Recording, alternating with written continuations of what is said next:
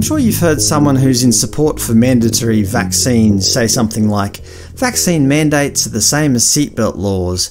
You wouldn't drive a car without wearing a seatbelt, right?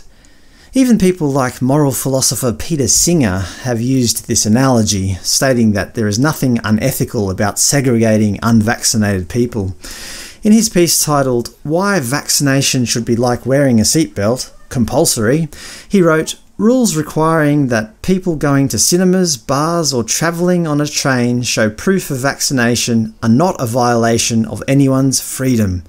Sorry, Professor Singer, I'll have to disagree with you on that one. In this presentation, I'll show that comparing seatbelts with vaccines is like comparing apples with spaceships. They are so obviously different. Seatbelts versus vaccines.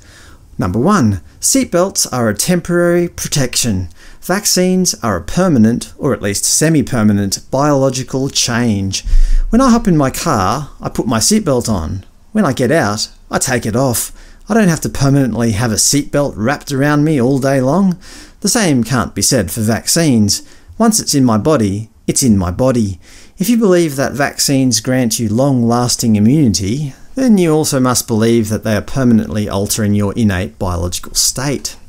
Number two, I can choose to avoid seatbelts. Not always, but if I really don't like wearing seatbelts, there are other modes of transport that I can use that don't require them.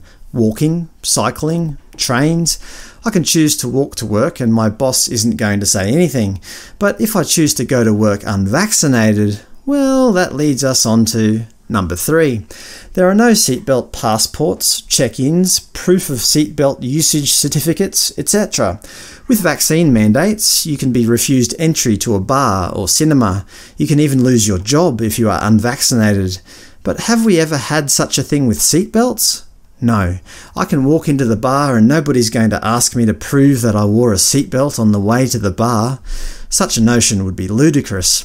I can walk to work without wearing a seatbelt and I'm still going to have a job. Heck, I could even drive to work without wearing a seatbelt and I would still have my job. Number 4. The act of putting on a seatbelt will never harm or kill anyone, although it might contribute to harm during a crash. The physical action of buckling up a seatbelt isn't going to harm me. The same can't be said about a vaccine. Sure, fatal vaccine side effects might be very rare, but they do exist. If you force somebody to do something against their will and they die, then that's on you. Morally speaking, seatbelt mandates and vaccine mandates are simply not the same. Plus, car manufacturers are held accountable for safety issues. Remember all those recent Takata airbag lawsuits? Number 5. Seatbelts were invented in 1885. Seatbelt laws weren't introduced till 1970. The first jurisdiction in the world to make it compulsory to wear a seatbelt in a car was the state of Victoria in Australia in 1970. That allowed many decades for seatbelts to be tested and refined to make sure they minimised injury during a crash. The same can't be said about the new round of vaccines. They've been raced out and at least some harm has either been dismissed or swept under the carpet. Number 6. Seatbelts don't lose efficacy over time. I don't need to get a new seatbelt every 6 months and continue using my old seatbelts, putting on more and more seatbelts as time goes on. Seatbelts in cars typically last the lifetime of the car. Number 7. Seatbelts help people equally. For some people, vaccines will not work there will always be a small number of people who fail to make an immune response to a particular vaccine, leaving them vulnerable to the disease. Number 8. Vaccines are an incredibly complex biological medication.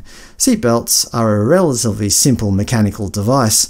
Comparing vaccines to safety belts is to accept a mechanical vision of human biology, which is something characteristic of 18th century medicine. Remember, educated people around that time used to think that bloodletting was an actual cure for many ailments. Are vaccine mandates the same as seatbelt laws? No. Seatbelts are only a temporary measure which I can avoid if I really want to. They don't interrupt my life. On the other hand, vaccine mandates are tearing society apart. I'll say it one more time just to make sure that my position is clear. I'm not against vaccines, but I am against vaccine mandates.